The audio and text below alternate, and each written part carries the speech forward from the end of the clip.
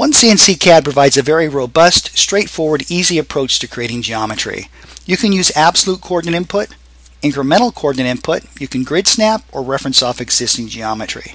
Now creating things like chamfers and fillets are also very simple. Just select the command, put the value in, and then digitize the geometry. We also have a set of can shapes. So for example, let's take a bolt hole pattern, stick it right at that arc center. That looks good. Let's create a couple of circles. Using our alter command, we can alter geometry. So we'll move that circle, and why don't we change the diameter as well. Now to rotate this, just select the geometry, select your point of rotation. I'll use a digital compass and rotate that 90 degrees. I can also grab the part by a theoretical intersection and move it right to origin. Very, very simple and straightforward. Let's take a look at some of our dimensioning tools. Let's add a couple of horizontal dimensions here. That looks great. We'll add a vertical dimension. That looks good. And how about a radial dimension? We also offer a set of crosshatching tools. Just select the geometry, select your crosshatch style, and click OK. Very, very simple. Now if you'd like to work with solid models, you can start with primitives if you want, or you can take 2D geometry and extrude that. You can use a dimension to extrude it or just dynamically extrude.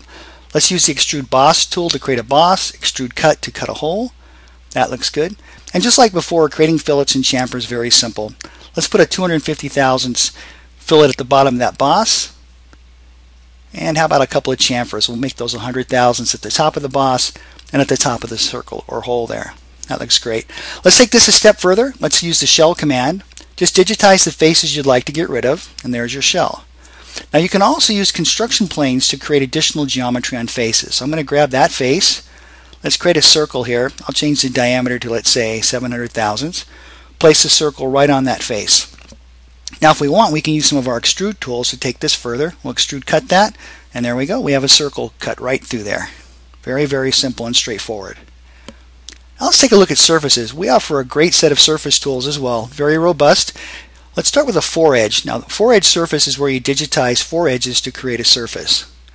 That looks good. Digitize that edge and that edge. That looks great. So there's your first surface. How about we take a look at the surface from curves command. This is where you just digitize a boundary, right hand mouse click, and there's your surface. Now we'll use cross-sectional. This is where you digitize several cross-sections. Now I'm only selecting two, but you can select as many cross-sections as you'd like. And there you go. There's your first cross-sectional surface. Let's do that again on this side here. That looks good. Right hand mouse click and there's the surface. Now notice here this top edge is made up of more than just one edge. That's not a problem. The bottom shape just has one edge, but no problem. There's our next cross-sectional surface. Again, there's multiple edges on top, not a problem. We'll grab the single edge on the bottom, and there's our surface. Now if you'd like, you can combine surfaces. So let's do that. Let's use our merge tool. There we go. So that's one watertight model now. Now we'll go back to our extrude tools and how about we extrude a tapered hole through that? That looks great. I'm going to use the fillet command and this time why don't we fillet all the edges.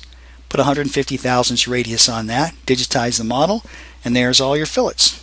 That looks good. Now we also offer a very powerful set of parting tools. I'm just going to use the standard split job command and let's split this model 2 inches. So we'll click OK and there's the split. Very, very simple.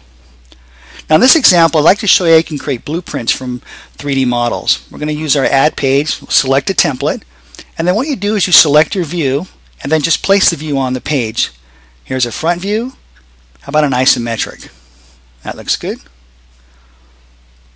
Great. Now let's go back to the model space. And what we're going to do now is take a cross section right there and say add to page manager. What we're going to do is create a cross-sectional view.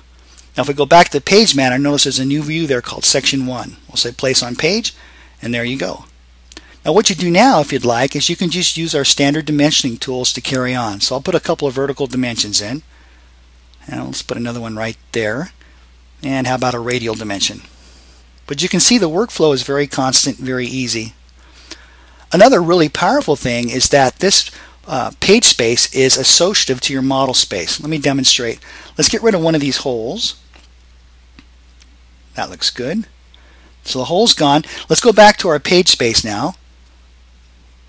And let's use the update page. And there you go. All four views now have been updated to show just one hole. Thanks so much for watching, and I'll see you in the next video.